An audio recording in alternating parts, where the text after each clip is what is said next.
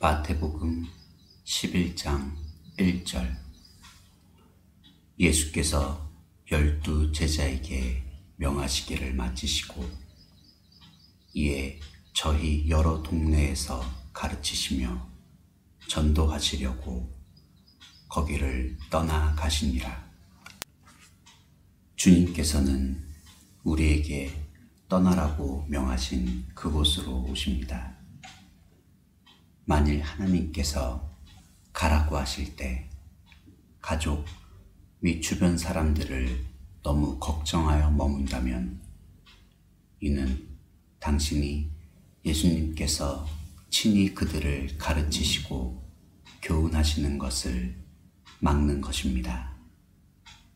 그러나 만일 하나님을 순종하고 모든 결과를 하나님께 맡긴 채 떠난다면 주께서는 당신이 떠난 그 도시로 가셔서 친히 가르치실 것입니다. 그러나 불순종하며 떠나지 않을 경우 당신은 주님의 길을 방해하는 것입니다. 당신이 어디서 주님과 논쟁하게 되는지 주시하십시오. 특히 나의 책임이라고 하면서 주님의 명령에 불순종하는 부분은 없는가 점검하십시오. 나는 주님께서 가라고 하시는 말씀을 알지만 내 책임이 남아 있어서 이 뜻은 당신은 주님께서 말씀하시는 것을 믿지 않겠다는 말과 같은 것입니다. 주님은 우리에게 가르치지 말라고 하신 그곳에서 가르치십니다. 주여, 우리가 초막 셋을 짓되 우리가 영적 미숙아로서 다른 사람의 삶에 간섭하여 문제를 일으키는 것은 아닌지요. 우리가 남들을 가르친다고 시끄럽게 떠드는데 실상은 하나님께서 그들 근처에도 못 오시게 하는 것은 아닌지요.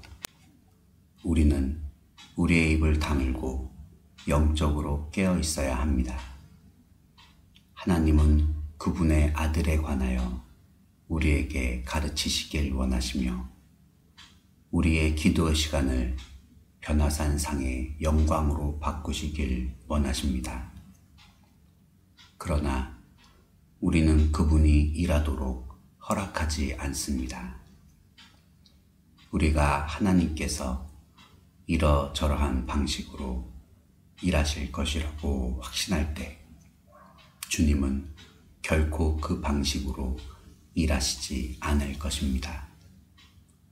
주님은 우리에게 기다리라고 하신 그곳에서 일하십니다. 할 때까지 유하라. 하나님을 기다리면 주께서 역사하실 것입니다. 한치 앞이 보이지 않는다고 하여 영적인 불평에 빠져 기다려서는 안 됩니다. 당신은 영적인 신경질을 내지 않으면서 하나님을 기다릴 수 있는지요? 기다림이란 가만히 손을 접고 앉아 있는 것이 아닙니다. 기다림이란 하나님의 음성을 듣는 법을 배우는 것입니다. 하나님께서 역사하시는 이러한 방식들을 우리는 거의 인식하지 못합니다.